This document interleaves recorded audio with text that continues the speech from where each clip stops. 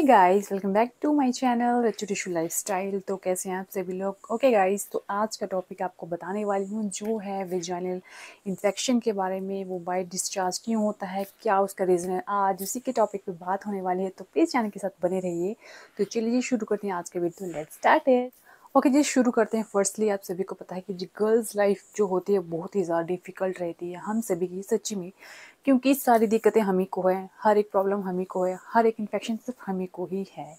Boys के साथ ऐसे कुछ नहीं होता है। वाइट डिस्चार्ज पहले क्या है उसको समझ लेते हैं और किन किन लेडीज़ को रहता है वो भी जानते हैं।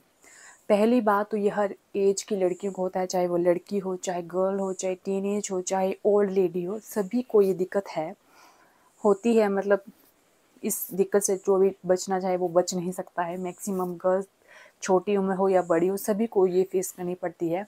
तो पंद्रह सोलह साल के ये स्टार्ट हो जाती है और लाइफ टाइम तक रहता है। आई थिंक सो क्योंकि अभी तक तो हम सभी के साथ ही ऐसा होता ही है। तो पहले जान लेते हैं कि ये होता क्यों हो और इसके होने का रीज़न क्या हो सकता है। वो हमारी जो गर्ल्स की बॉडी से है, वो हर टाइम किसी भी टाइम मतलब रिमूव हो सकता है।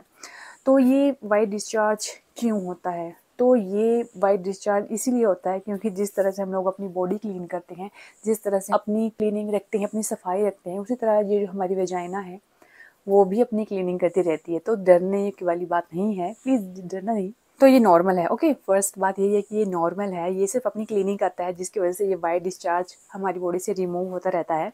तो जिस तरह से हम लोग अपनी बॉडी को धोते हैं हम नहाते हैं तो जो भी निकलता है गंदगी तो वो गंदगी खुद ही ये विजाइना अपनी सफ़ाई कर लेती है। विजाइना खुद इतनी स्ट्रांग इतनी पावरफुल है कि उसको किसी की ज़रूरत नहीं है। वो खुद से ही अपना क्लीनिंग कर लेती है।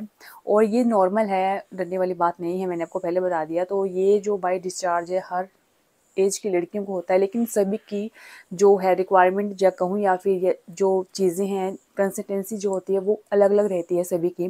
किसी को थिक रहता है, किसी को गाढ़ा रहता है, किसी को पनीर की तरह होता है, किसी को जैसे दही रहता है, हमारा उस तरह का होता है तो हर किसी का अलग अलग सिम्टम्स होते हैं। बट जो एग वाइट की तरह रहता है, चिपचिपा से लंबी जिसकी लेयर बन जाती है वो जो अगर आपको हो रहा है तो वो बिल्कुल नॉर्मल है, उसमें आपको डरने की ज़रूरत बिल्कुल भी नहीं है।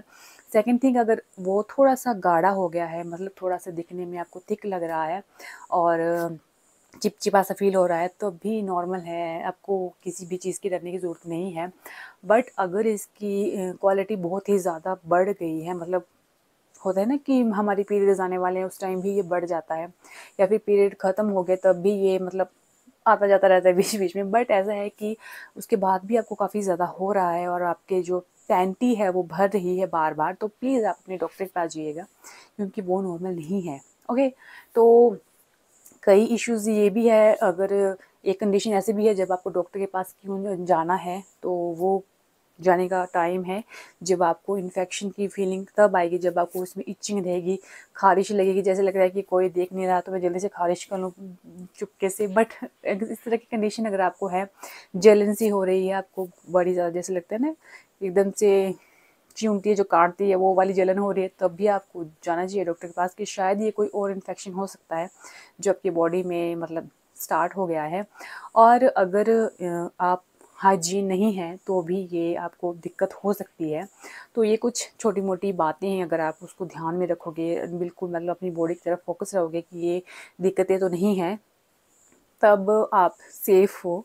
अगर ये है मतलब आपको इचिंग है, जलन हो रही है इन्फेक्शन की वजह से, या फिर आपको कोई वाइट डिस्चार्ज की जगह ब्राउन आ रहा है ब्लू आ रहा है, या रेड आ रहा है, या फिर पीरियड की तरह से आपको, जो होती है ना क्राउटिंग जो होती है, वो आ रही है तो डॉक्टर के जल्दी जाकर आप लोग कांटेक्ट में रहिए, क्योंकि शायद आपको कोई और इन्फेक्शन ना हो गया रहते देन अगर आपको ऐसा कुछ नहीं है, सिर्फ़ वाई डिस्चार्ज ही निकल रहा है तो डरने की बात बिल्कुल नहीं है। गर्ल्स आप लोग सेफ़ है और आप लोगों को कुछ भी नहीं हुआ है, डरना बिल्कुल नहीं है। लेकिन हाँ किसी किसी को ये इन्फेक्शन बढ़ सकता है।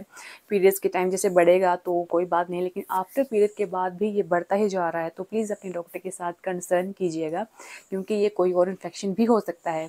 और पीरियड के बाद और साथ में अगर पीरियड के बीच में भी आपको ये प्रॉब्लम आ रही है तो भी ना डरे तो ये भी सेफ़ है। तो ऐसा है कि हमारी बॉडी में बहुत कुछ चेंजिंग होते रहती है जिसका हमें पता नहीं चलता है, लेकिन ऐसा है कि टाइम टू टाइम हमें इसकी वो कहते हैं नॉलेज मिलती रहती है तो ये ओके नाउ मैं आपको अपना एक्सपीरियंस बताती हूँ। मुझे भी एक बार बहुत ही ज़्यादा मतलब बहुत ही जिसे कहते हैं ना कि बुरा वाला इन्फेक्शन हुआ था वेजाना इन्फेक्शन ही था। मुझे रात के टाइम ऐसा हुआ कि मुझे भी जाने में बहुत ही ज़्यादा इचिंग हो रही थी और साथ में ऐसा लग रहा कि मुझे बार बार यूरिन जाना है। जैसे लग रहा था कि मैं अभी वो यूरिन पास करके आई तो फिर मैं ऐसे बैठ गई तो बस ऐसा लग रहा कि अभी मैं नहीं गई तो आई थिंक यहीं पे कर लूँगी। तो इस तरह का इन्फेक्शन मुझे एक बार हुआ था, जिसकी वजह से मुझे पूरी रात मतलब वॉशरूम जाना पड़ा। तो उसमें ऐसा था कि मुझे यूरिन नहीं हो रहा था मतलब बिल्कुल थोड़ा क्वांटिटी में हो रहा था थोड़ा थोड़ा बट ऐसा था कि उसमें पेन बहुत था, जलन बहुत थी और ऐसा लग रहा था कि मेरे अंदर कुछ जल रहा है और ऐसा लग रहा था मुझे कि मैं अपना यूरिन कंट्रोल नहीं कर पाऊँगी, मुझसे यहीं पे हो जाएगा। तो ये एक बहुत ही ज़्यादा एक, वो बहुत ही ज़्यादा भयानक रात थी मेरे लिए जो मैंने काटी थी उस रात। बहुत ही ज़्यादा डिफ़िकल्ट था वो मेरे लिए दिन दिन नहीं सॉरी रात थी वो। तो उस टाइम की जो ये था कि मैं, बस इतना ही सोच रही थी कि मैं जल्दी से सुबह हो जाए, मैं जल्दी से डॉक्टर के पास जाऊँ ताकि इस पेन से मैं रिलीफ पाऊँ। बट ऐसा था कि आप सभी को पता है आजकल फ़ोन हर किसी के पास है तो मैंने भी फ़ोन में सर्च मार लिया कि ये दिक्कत ही हो रही है और इसके लिए मैं क्या करूँ। तो मुझे उन्होंने सोल्यूशन बताया कि आप पानी पीजिए बहुत ही ज़्यादा। पानी पीजिए। और आपको बताऊँ तो वो विंटर का टाइम था और रात में ठंडा पानी पीना बहुत ही ज़्यादा डिफ़िकल्ट था मेरे लिए, क्योंकि मेरे रूम से किचन थोड़ा दूर था। तो क्या करूँ, लेकिन पीना पड़ा मुझे। मैंने रात को दो लीटर पानी पिया। उसके बाद फिर से मेरा यूरिन जो क्वांटिटी वो बढ़ने लगी। मुझे यूरिन बार बार होने लगा। But after four to five hours के बाद मुझे पेन से रिलीफ मिल गया। और मैं उस रात रात को रात को नहीं, सुबह पाँच बजे सोई थी। इतनी ज़्यादा मतलब डिफ़िकल्ट रही। तो ये इन्फेक्शन जो होते हैं, वो बड़ी तरह के होते हैं और बहुत ही ज़्यादा दिक्कत देते हैं। तो इसको नज़रअंदाज नहीं करना है। अगर आपको भी इस तरह की दिक्कत है तो प्लीज़ डॉक्टर से कंसर्न कीजिए। और अगर बेजाइना में इन्फेक्शन है या फिर जलन है, खारिश है पेन है तो प्लीज़ डॉक्टर से जाइएगा और ज़रूर बताना कि मुझे क्या हो रहा था। ये मैंने सिर्फ़ आपको अपने पर्सनल एक्सपीरियंस शेयर किया कि मेरे साथ क्या हुआ था। तो ये था आज का वीडियो जो मैंने साथ शेयर किया। आई होप आपको आज का मेरा वीडियो अच्छा लगा होगा गाइज़ और प्लीज़ प्लीज़ प्लीज़ आप सभी से रिक्वेस्ट है वीडियो वॉच कीजिए और आप लोग सब्सक्राइब कीजिए। मेरे व्यूज़ बिल्कुल नहीं आ रहे मैं फिर भी वीडियो बना रही हूँ, क्योंकि मुझे पता है आप मुझे सपोर्ट ज़रूर करोगे।